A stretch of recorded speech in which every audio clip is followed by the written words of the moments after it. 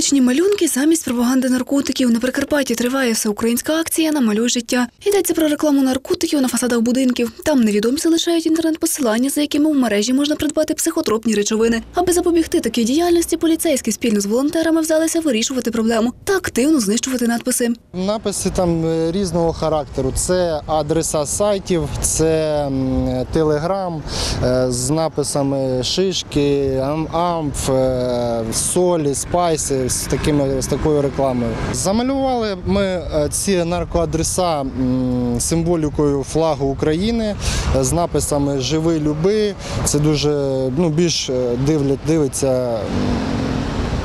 Цікавіше, ніж просто замалювати фарбою. З такою рекламою кажуть у поліції, придбати собі наркотичні речовини може будь-хто. Схема працює дуже просто. Після замовлення людині скидають номер рахунку для переказу коштів. Потім наркоторговець повідомляє, де покупець може придбати товар. Проте, за словами правоохоронців, таким надписам довіряти не варто, адже часто трапляються випадки, коли споживачів просто обдурюють. По даних надписах е, ми проводимо перевірку показаних рекламах, показаних сайтах інтернет.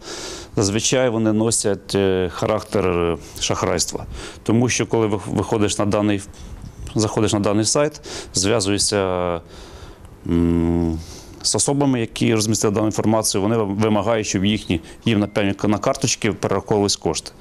Коли проводимо перевірку, то власники цих карточок знаходяться зазвичай поза межами території України, можуть перебувати в місцях позбавлення волі і також е, можуть перебувати на території ДНР ЛНР.